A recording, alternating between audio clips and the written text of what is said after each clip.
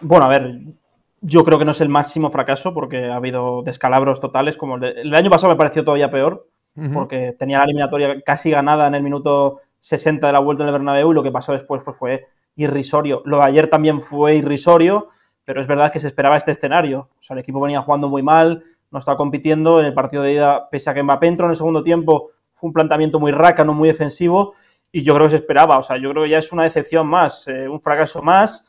Eh, no sé, me cuesta ver qué futuro tiene el proyecto porque todos los años se repite el mismo discurso. Yo creo que vivo en un déjà vu constante. O sea, llevo haciendo los mismos artículos para el AS durante cinco años. O sea, y ahora, revolución ahora y no pasa nada. Entonces yo no sé, yo no, yo no sé qué decirte ahora si, si va a haber una revolución o no, porque nunca se produce.